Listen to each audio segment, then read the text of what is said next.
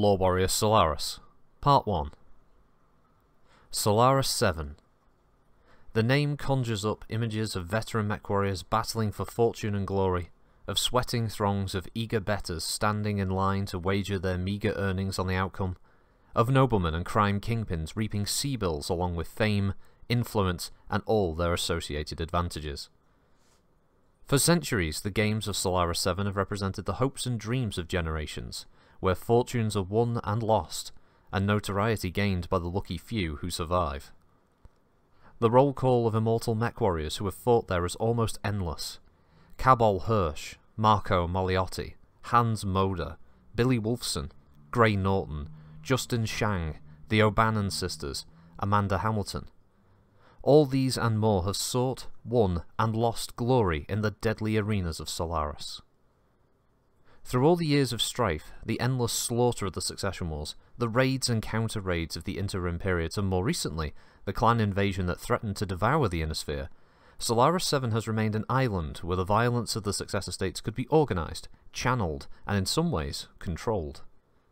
Here, war is a game and warriors a commodity. All across the Inner Sphere, the teeming masses daily watch the Solaris fights, rooting for their favourites and wagering their C-bills. Thus has it been in the past, and thus, for as long as there is an inner sphere, will it remain. Overview Solaris 7 is the largest of the 12 planets in its system.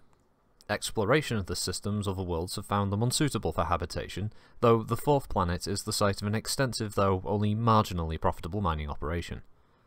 An Earth-sized, water-rich world, Solaris has only two major continents, Greyland and Equitus, only one of which is extensively inhabited. Roughly the size of North America on Terra, Greyland is a place of great shallow seas and wide sluggish rivers. Vast stretches of taiga in the north give way to forests of conifer-like trees in the central region and open into grasslands in the south. The climate of central Greyland, the location of Solaris City, is damp and chill. A brief spring season brings a wan light for a few weeks before the rain closes in again, were it not for the Met Games, Solaris City would be a dismal place indeed. The rest of Greyland is comparatively pleasant. Many nobles maintain summer homes along the southern coast where rainfall is rare and the cool sea breeze moderates a warm climate. Some sections of central Greyland boast forests fast enough to support a profitable timber industry, but even in such communities, the Met Games are still the most important of industry. Solaris' other continent, Equitus, has considerably less arable land, populated with only a few coastal fishing and inland mining communities. Equitus is considered the planet's wild frontier. History Despite its prime location along the Steiner-Marik frontier, Solaris 7's history has been relatively peaceful. Originally a free world's planet, Solaris fell to the Lyrans during the First Succession War, then suffered heavily from Freeworld's depredations throughout the Second Succession War. In 2928, a raid severely damaged Solaris City's mech repair facilities, but four years later, Steiner forces roundly defeated a major Freeworld's invasion in September 3002. Battle mech contests are the major industry upon which the entire planetary economy is based, and this has been so almost from the earliest period of Solaris history. Those corporate executives who first used Solaris 7 as a testing ground for new mechs could never have imagined that these trials would one day become gladiator-like contests of a nightmarish form. Early years Solaris 7's gaming industry began inauspiciously enough. Originally colonized for industrialization purposes during the Star League era, its heavy industrial base made it ideal for battle mech production. It was natural that several mech producers should decide to use Solaris as the site for their major testing laboratories. The planet's rugged terrain provided excellent testing grounds and dry run sites for new mech designs. Vast mech bays were reinforced and strengthened to serve as live ammo test sites. It was only a matter of time before rival corporations competing for valuable Star League military contracts began to pit their prototypes against one another in order to impress government officials. The first military mech competition between competing designs took place in 2695. In that first conflict, Orguss Industries' fledgling Phoenix Hawk defeated rival Defiance Industries' Sentinel. Long in use by Herr Steiner, the Sentinel was now under consideration for purchase by the Star League Defense Forces. Though both mechs eventually found their way into the SLDF, the Phoenix Hawk's performance on Solaris gave it a definite edge. Viewed by a small, select audience of corporate executives and their guests, the fight proved so exciting that within a year, mech contests had become a regular entertainment feature, broadcast to the populace. The Solaris Games had begun. The popularity of these contests didn't escape notice by the rich and powerful. Battles between corporate teams were popular, so why not use the popularity to generate a profit? Private mech stables were born along with cash purses, Trudeo broadcasts, and the beginning of the modern betting system. In addition to corporate teams, mercenary units used Solaris for training purposes, honing their skills in fights against local mech warriors. Some warriors even found it possible to make their living on Solaris. Although the betting and purse system was informal, profits varied widely, many Inner Sphere promoters saw the potential to get rich quick. Changing fortunes. As the century drew to a close, the Star League had collapsed. General Kerensky had left the Inner Sphere with most of his Star League army in 2784, and the first of what became known as the Succession Wars would break out. When Lyran forces seized many worlds near Solaris 7 in a series of lightning strikes, Solaris, never closely aligned to the Free Worlds to begin with, easily changed allegiance. Though it has remained in Lyran hands ever since, the Commonwealth government has approved a kind of neutrality for Solaris, much like that of Switzerland on Old Terra.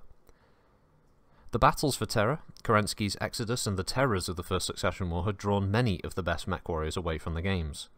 When mercenaries could earn fortunes fighting real battles for the Successor Lords, the comparatively small purses on Solaris and their contests looked less and less appealing.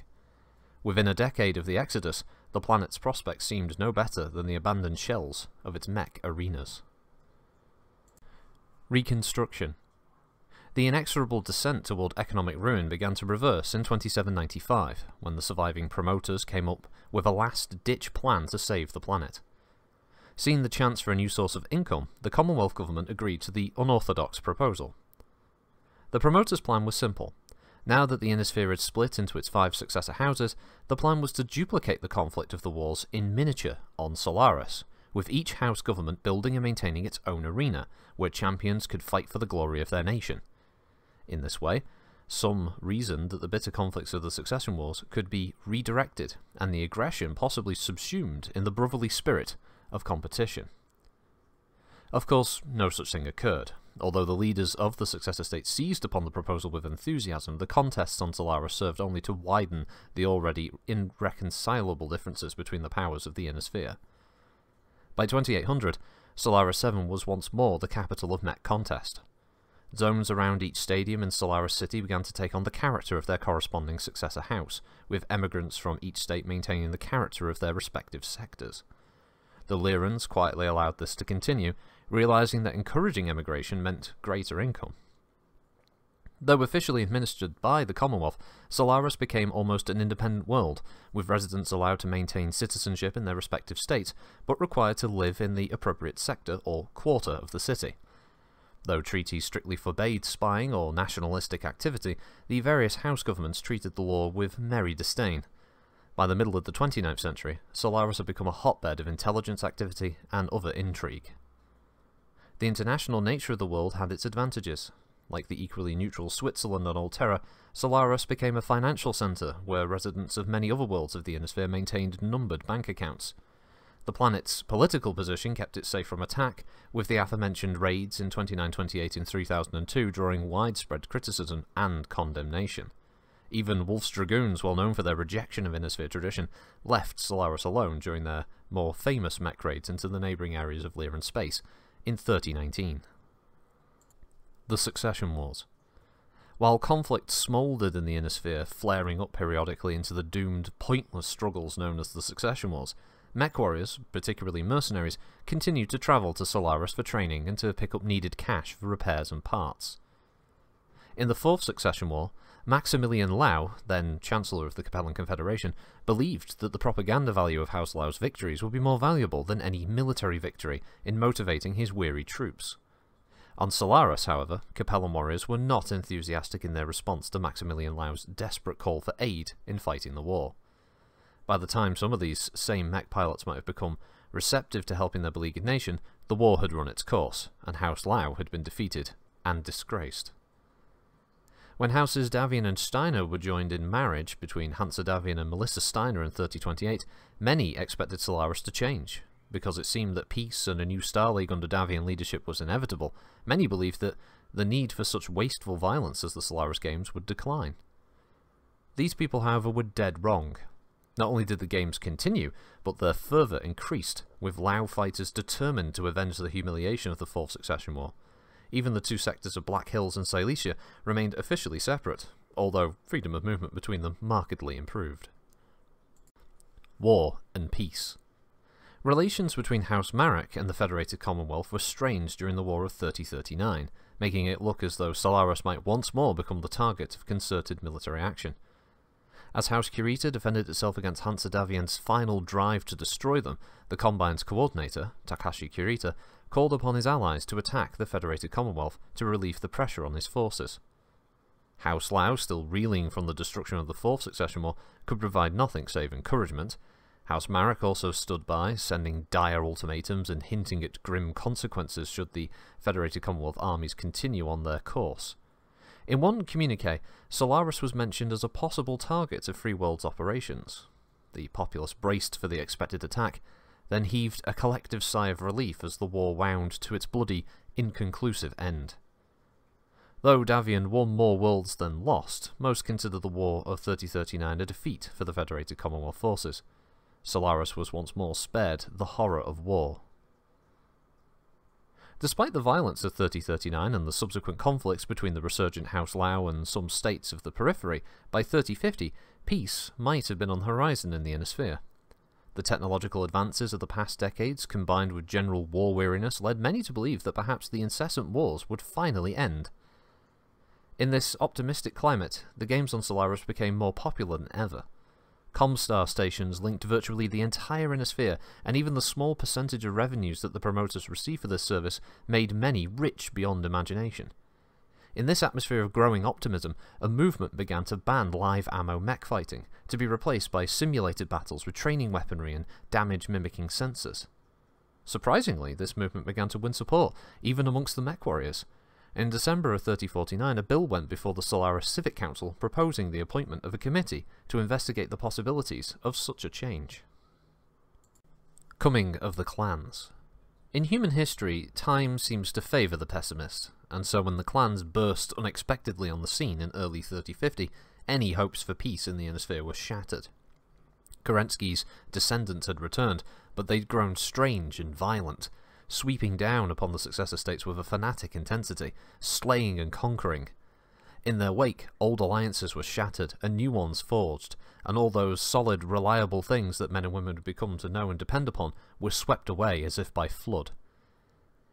The apparently unbreakable alliance between Davion and Steiner was showing signs of strain, as some citizens of both houses still protested the union. House Liao again awoke to thoughts of greatness and ultimate victory. The free Rasalhague Republic, which had seemed the perfect counterweight against the power of House Kurita, was gutted and brought to its knees. House Marik, largely untouched by the conflict, saw its fortunes rise. Driven together by conflict and catastrophe, houses Davion and Kurita began to look at each other in a new light. Comstar, the ancient secret order of Blake, seemed on the verge of collapse. All these were tragedies for the Inner Sphere, but food and drink to the hungry promoters of Solaris. The fights raged on, any thought of humanizing them or reducing the bloodshed forgotten. Desperate, half convinced that the end was near, many people spent previously hoarded C-bills in an orgy of self-indulgence and debauchery. Much of this money found its way back to Solaris as men and women wagered fortunes, hoping against hope that a big win might buy escape or salvation from the clan's inexorable march toward terror. Trillions and more changed hands overnight. Paupers became princes in a day, then became paupers again. Blood flowed, mechs fought, and the arenas were always full. These were grand days for Solaris promoters and mech warriors alike. Always a microcosm and barometer of the Inner Sphere, Solaris seemed to have run out of control, with its teeming citizens finally acknowledging that the future held nothing but war and terror, and deciding to wager everything on one last fling. The frenzy, as it came to be called, lasted well into 3052. When at last the Comguards halted the clan's advance, the people of the Inner Sphere began to hope once more that perhaps life may go on. Slowly, the frenetic pace of life on Solaris began to return to normal. Solaris today. In the wake of the clan invasion, the games continue. At first, many believed that the honour-driven clans people might look favourably on the games of Solaris, providing new blood to the game circuit. Far from admiring Solaris and its games, however, the clans apparently despised the notion of fighting for money or the idea of wagering on the outcome of combat. They see such activities as a filthy perversion of a noble profession, a twisted caricature of their famous bidding system by which commanders earned glory and status. Should the clan wars begin again, many believe that one of their first goals will be to destroy the world they consider a den of degeneracy and evil, Solaris. Meanwhile, the games go on. They can never end until the successor states have passed away and peace again reigns over the thousands of stars of the inner sphere.